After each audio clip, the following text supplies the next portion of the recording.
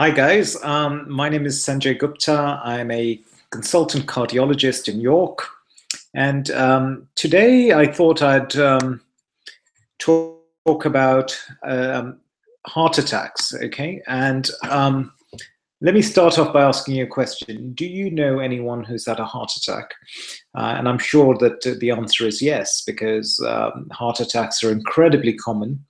Um, and there are two types of patient, really. There are those patients who say they've been getting chest pains and uh, they say, oh, I was getting chest pains and um, uh, the pains were getting worse and worse and I went to the hospital and they said I was going to have a heart attack and luckily I had I had some stents put in um, and thank God that saved my life. And then there are other patients who who you know are completely fit and well and you you just hear, oh my God, he's had a heart attack and he's dropped down dead, or suddenly out of the blue, there's been a heart attack. And so today I wanted to talk to you um, about heart attacks, okay, because uh, this is by, uh, by and large one of the largest killers in uh, the Western world. And um, there is a lot you can do to try and avoid having a heart attack. And I thought I'd talk you through heart attacks and um, and why heart attacks happen. Okay, so the first thing to talk about is that any muscle in your body needs blood, okay, to function. So if um, if I have my bicep, my bicep needs blood. You know, it needs uh, to be supplied by blood so that it can get oxygen. Oxygen sustains my muscle. The heart is also a muscle and it's working all the time and therefore it needs blood and it needs blood all the time okay? And the blood is delivered to the heart muscle by three heart arteries okay? They're called the coronary arteries. And we're all uh, equipped with three small arteries uh, which are very small uh, and embedded within the heart, but they supply different parts of the heart. So the whole of the heart is getting the blood, but different parts of the heart are getting blood from one of the three arteries. And essentially, what a heart attack is, is that if you block the supply uh, of blood from one any one of these arteries, then that part of the heart will not get the blood it needs, and therefore it will start suffocating. And as it starts suffocating, it cries out, and that is manifested as discomfort in the chest, like a tightness in the chest, um, and uh, if nothing is done, then that leads to a heart attack. And the problem with a heart attack is that um, during that time when the heart is devoid of blood, uh, the heart um, becomes very weak. It is not able to pump blood around, and it can it can um, then fail, or it can become very irritable because it's not getting the blood, and it can go into a funny rhythm, which can be very fast, and eventually cause someone to uh, die i.e., cardiac arrest and die. Okay, so um, heart attacks are bad news. Now, the way to try and work this out is this think car and think of the car requiring fuel. That's like your heart requiring blood, okay? And the fuel is delivered to the engine of the car through a fuel pipe. Those are your coronary arteries. Now, what can happen is that over a number of years, you start developing wear and tear in the pipe that takes the fuel to the engine, all right?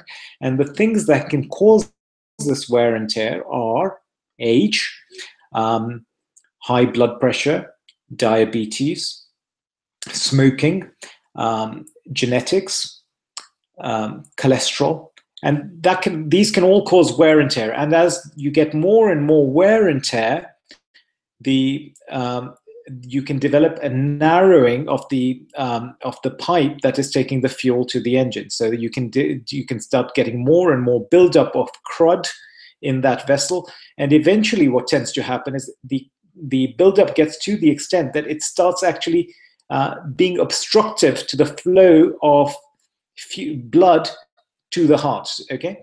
Uh, however, this happens very slowly, and um, it can take a number of years for this to happen. And generally, what tends to happen is that the patient or the person will be fine, and then they will start noticing that at extreme exertion or on heavy exertion, when the heart is asking for a lot more blood, i.e., you're driving the engine very fast, it needs a lot more fuel, uh, but because there is a narrowing in the pipe that takes the fuel to the engine, the fuel can't get through quick enough, and therefore the engine starts asking for more or crying out. Uh, and that then manifests as chest pain. So a lot of people will say to me, "Oh, I can walk a certain distance, um, and after that, if particularly if I'm going up a hill or it's very cold and my heart is beating fast, I get this tightness or this discomfort, like someone sitting on my chest, and I have to stop. And as I stop, the discomfort goes away. I.e., when the car is going very fast, the fuel can't get through quick enough. Down, and as the car slows down, the fuel is able to go and supply the engine, and so the car is okay. And that is what a lot of people come to me and um, you know they'll say I can walk I could walk a mile. Now I can only walk half a mile. Um, because I get the discomfort and I have to stop after half a mile. And if you don't do anything this continues to build up and they'll come back and say I can now only walk a quarter of a mile.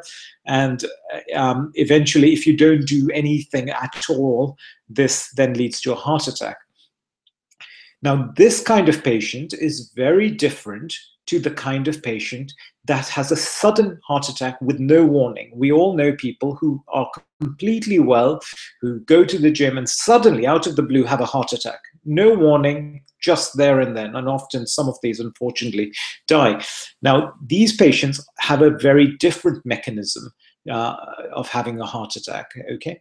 Because by very virtue, if you are getting a narrowing that is building up over a period of time, then that narrowing gives you a warning you know you get the warning it would be a very um, foolhardy person who would ignore these symptoms you know if they've been going on for several months and they're beginning to limit their activity would be a very foolhardy person to say well i'm not going to seek help. Most people who get these symptoms find that their exercise capacity is so limited that they actually go and seek help.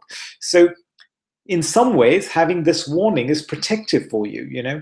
So a lot of people um, um, then go and have have these um, have their tests and they find that there is a significant narrowing and they go and have a stent or a bypass and they come back and they tell the tale where they said if it hadn't been picked up I would have died. Yes, it's possibly true, but generally, the very fact that they've been getting enough symptoms tells us that they would have sought help anyway. They're, they're not as worrying as those people who suddenly, out of the blue, have a heart attack. So you have to ask yourself, what is the um, for in those people who have no warning.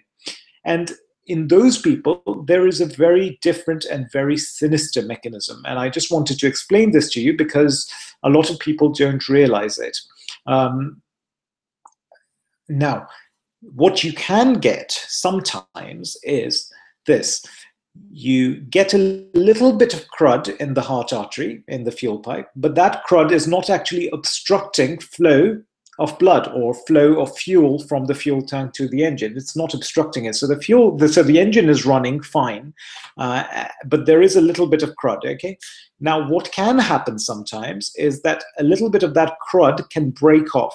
And if it breaks off, what happens is the body thinks that you've sustained a wound in that area which has been left as a result of that crud falling off. It's like a bit of crust, you know, that falls off, and that bit that is left behind looks like a wound, and the body therefore forms a blood clot to try and control that wound. And on, inadvertently, that blood clot actually blocks off the fuel pipe altogether, and that can happen within a matter of a few minutes.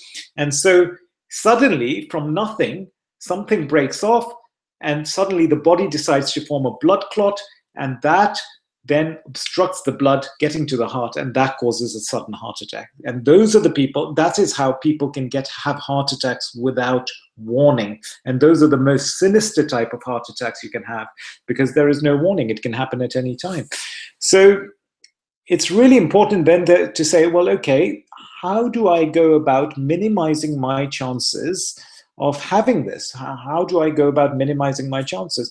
The truth is, very few, there is no technology at the moment which will tell you, if you look at the heart artery, as to which bit of crud could break off and cause this you know? All you can do is look at the bits of crud which are causing the most narrowing okay? But the narrowings will cause a warning. So you can fix a narrowing but it's not necessarily the narrowing that will cause the sudden heart attack. It's the bits of crud which are probably not even causing a narrowing but for some reason are very unstable. I, I very unstable. So when we look at this we try and work out well what are the things that make bits of crud unstable? And the secret is that the thing that makes bits of crud unstable is inflammation. Okay, uh, the more inflamed you are, the more likely you are to have crud breaking off and causing heart attacks. Uh, uh, okay, and so whereas a lot of people concentrate very much on blood pressure and that's okay and diabetes and that's fine and cholesterol it's very important to bear in mind that the things that really inflame you are things like a stress Okay. B, lack of sleep. C, lack of exercise. D, um, smoking, because every time you smoke, you're taking a hit, you're inflaming yourself, you're putting stuff in your body which isn't meant to be there. That's a hit. And if you have an unstable area, even one cigarette, you know, the just the hit from that could cause a plaque to break off and form a clot and um, nutrition a lot of people nutrition is really um, you know uh, neglected because we're always taking in um, uh, bad food. You know even supermarket food is bad food because we don't know how it's been grown. We don't know what fertilizers and chemicals have been put in it. Um, we don't know how it's been preserved. And we um, you know we go we go to our supermarket we look at something we think oh wow that looks healthy let's take that. But actually we don't know what's gone beyond what's gone on behind that food uh, before it is placed uh, on our tables. And therefore it's really important just to be conscious of that. It's very very important to try and reduce your stress levels. It's very important try, to try and eat healthy ideally local grown fresh food um, it's very important to get regular exercise because we know regular gentle exercise is anti-inflammatory. We know sudden unaccustomed exercise is pro-inflammatory. So it's not uncommon when someone you know suddenly does something which is very very exertional uh, and they're not accustomed to it. That can cause heart attacks. However, we know that people who are doing gradual exercise, you know, who are not doing anything too he heavy, uh, in those people, the exercise is protective. Having sleep is really important as well. If you don't go, if you go without sleep, you know how inflamed you get. You know you can fall, you fall ill, and therefore, having good amounts of sleep, cutting down on your stress levels, getting regular, good exercise, having the right mindset, is incredibly important. Avoiding smoking is really important. Avoiding recreational drugs like cocaine, etc., is really important. Um, you know, being in the rat race, um, being uh, uh, being uh, well. How do I say this? Um, being happy is important. Being happy is incredibly anti-inflammatory. You know, um, uh, being relaxed is really important. And so we also know that certain tablets are anti-inflammatory and in particular statins. The reason they work is not because they lower the cholesterol. A lot of people think oh my cholesterol isn't high. Why are they giving me statins? The reason statins work is because they have been found to be anti-inflammatory and they stabilize plaque. And that is why what we know is that things like bypasses and stents don't really prolonged life. You know, those people who come and say, oh, well, look, you know, I had this stent put in, otherwise I would have died. No, what would have happened is if you didn't have the stent, you would still have your symptoms of chest discomfort when you walked. Uh, and now that you have the stent, the discomfort is gone. But actually, the stent isn't tackling that area of the heart vessel that would have likely caused the sudden heart attack. That area is somewhere else. You can't see, you can't pick out which of the slight narrowings is going to suddenly misbehave. And that's why the only thing you can do is to try and modify your lifestyle, try and pay attention to what you're eating, pay attention to exercise, pay attention to avoiding cigarettes, pay attention to getting enough sleep, and pay attention to your mindset. Okay, so um, I hope this was helpful. Um, don't hesitate to get in touch should you need to. Uh, I'll try and do some more videos. It's just been quite busy recently, but uh, I'm really, really grateful for all the amazing feedback you've given me about the videos. You can get in touch with me through Facebook if you wanted to, or Twitter, or if you wanted to speak to me, you can uh, do so through my secretary, Jeanette, uh, and she's on this number. My website is www.yorkcardiology.co.uk. Uh, feel free to give me a, uh, send me a message and I promise to respond. Um, uh, and that's it. Thank you so much for listening. All the best. Take care. Bye.